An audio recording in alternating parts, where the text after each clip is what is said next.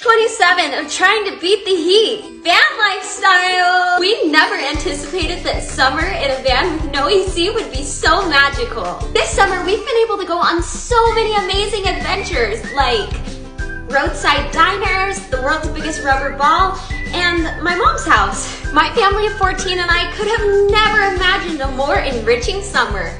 Mom, I'm so hot. I really don't feel good. No, I you're not. I'm You're sick. fine, okay? You're being dramatic, okay? I'm so dizzy I can't Oh my walk. goodness, you kids are so ungrateful.